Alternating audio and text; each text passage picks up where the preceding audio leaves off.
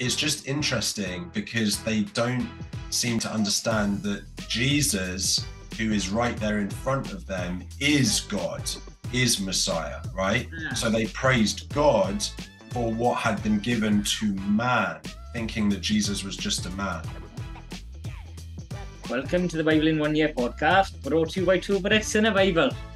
Today is day 278, covering Matthew 9 and 10. Ah, I should have known. I should have known from your comment last. You're like, oh, maybe the the switch is gone and I can't do my accents anymore. I'm like, I'm calling, I'm calling nonsense on that straight away. I Like- have that one like wired up, ready with my intro phrase. Genuinely, the best inter- the best impersonist that I know personally, you know, by far. Um, so there you go. And I went to drama school. So, but uh, yeah, so Matthew 9 and 10, tons to get through, same as pretty much every day in the Gospels, right? Um, but having said that, I, about halfway through, I started to wear a bit thinner because, like you said, we're trying not to say the same stories and the same points. Yeah. And obviously, the, the Gospels do have a lot of similarities, like different people's perspectives and takes, but on the same stories and the same things Jesus said. Anyway, so I'm going to start today with Matthew 9, verse 8. When the crowd saw this, they were filled with awe and they praised God who had given such authority to man. And it's just interesting because they don't seem to understand that Jesus, who is right there in front of them, is God, is Messiah, right? Yeah. So they praised God for what had been given to man, thinking that Jesus was just a man in that sense. Now, I might have, I might be reading too much into it. It might be like, but my view of that is they're like, oh, look at this man. Look at the fact that he is able to be given stuff from God, and as if they weren't the same Yeah. person. Because I guess they would have probably seen him as a prophet at that stage. exactly. Um, but that's a really what I'm trying good to say. point. I hadn't seen that, bro. I like that. Yeah, yeah, and I think it gets to a certain stage where I I've learned this from you, and um, I really like it. Is like actually looking at the nuances of the language sometimes, Yeah. and you can learn a lot just from that. So anyway, there's my first point. I love it, bro. Um, so I am just the next very next verse, the calling of Matthew. As Jesus went on from there, he saw a man named Matthew sitting at the tax collector's booth. Follow me, he told him. And Matthew got up and followed him. And it was just this whole obedience without question that I love and wanted to focus on because so often right now we're at the stage with our kids where we ask them to do something. And I'm pretty sure I've mentioned this before, but instead of doing what we ask them to, they ask a bunch of questions or they give us an answer. And so I've started saying, listen, I want action, not answers because it's I'm not asking you something for your opinion on it. Uh, or I'm not telling you to do something because of your opinion on it. If I'm asking, feel free to give me an answer. But if I'm telling you to do something, just do it. Yeah, yeah. Later. Actions, not answers. And Yeah. I think that is the kind of faith and obedience that Jesus is asking for. Yeah, that's that's good, man. And that reminds me of something that um, my pastor was talking about last night at the men's retreat. Is uh, it was in the book of um, it was first. Oh my goodness, is it First Solomon? I want to say no, First Samuel. What am I on about? Yeah, First Solomon is not not a thing, and it's Saul, and uh, God tells Saul to just demolish and get rid of the Amal- Amalekites, right? and to utterly destroy them and to not leave any man, woman, child, or even a calf, cow, sheep alive, right? And he destroys them, but he keeps the best stuff for himself. And then he's called out on it.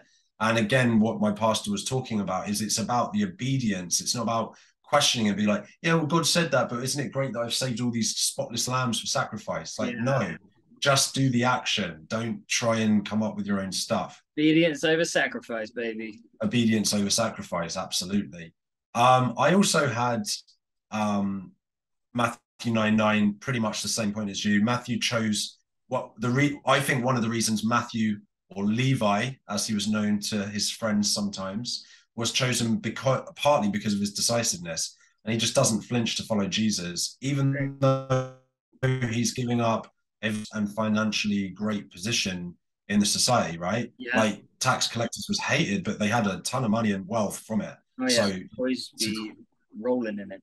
they'd be rolling in it exactly. Just uh, focusing on Matthew, Matthew 23. I don't know whether this is because the way Matthew is portrayed in The Chosen, but effectively, Jesus, this is when he heals the girl who was dead, and Jesus says she's not dead but asleep. This is Matthew 9 23 and they laughed at him. And the way the Chosen portrays Matthew is is kind of a little bit bullied because of a potential sort of autism type yeah. spectrum something, which is obviously that is probably elaborated, but. Yeah. It's like I wonder if that sort of Matthew was focusing on how they were laughing at Jesus rather than what Jesus was doing, because that's his own sort of take on it, and it just was a tiny little thing in there, really. Yeah, well, that that's exactly right. The the Gospels were written by men, and there are little bits of perspective from them, right? So all that adds, I think, to their authenticity.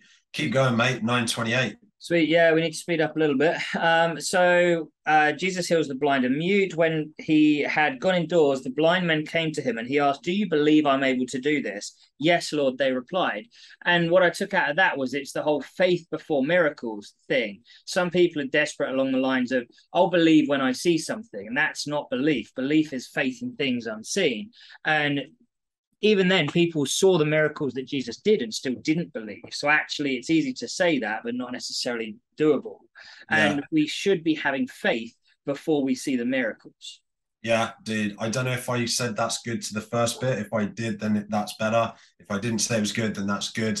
Either way, that's good. Cool. Good and stuff, just because feeds in so quickly. Matthew 9 okay. 24, the, uh, the Pharisees are then basically saying, oh, it's because it's the prince of demons that he drives out demons. And mm. so often, if we can't explain it, we try and justify it by what we do know. And I yeah. think that's so true for what a lot of people think about Christianity. It doesn't make sense to me. So it must be this. Yeah, yeah, absolutely right. Um, I don't have a good segue into my point from that, but really good point. Um, Jesus sent out the 12 and said, Do not go among the Gentiles or into any town of the Samaritans. So a couple couple small things. One is um, when I think of Jesus, I often don't remember. I mean, I've rediscovered and remembering it now. Jesus really came much more to to spread the gospel to the Jews while he was here. Um, don't get me wrong, like some Gentiles, like the centurion, and there was a woman that came and asked for her daughter to be healed, right? Yeah. But it was later that he was going to put in place stuff to reach the Gentiles, and that comes to fruition in Acts. So that's a cool little nugget, I think, of like, look, save the save the the chosen right now, and they're the ones that they're the hornet's nest we're going to have to stir up to get this whole crucifixion thing going as well. Um, and then another small one, Matthew 10, verse 20. It will not be you speaking, the spirit of your father will be speaking through you. Yeah. That again links to Acts, it links to the spiritual gifts that Holy Spirit gives us at that time. But it also links, I think, pretty well to how I feel sometimes during this podcast. I'll watch it back sometimes and be like, where did that come from? Where, how did I say that? Or, you know, where what what was going on there?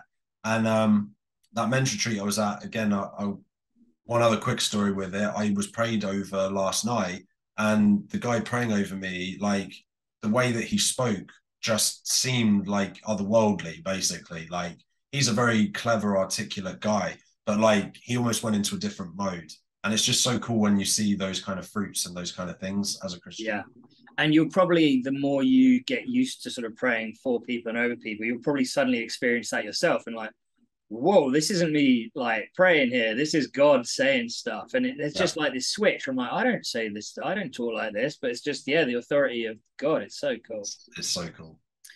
Um, I love it. You literally answered one of my points from a second ago because I was like, why didn't he want to send them to Samaria? He'd send them to Nineveh, which was the capital of um, Israel, Assyria, it's capital of Assyria. Yeah, yeah, so, like, yeah. why would he not send them to Samaria? So, I love your point there. Thank you.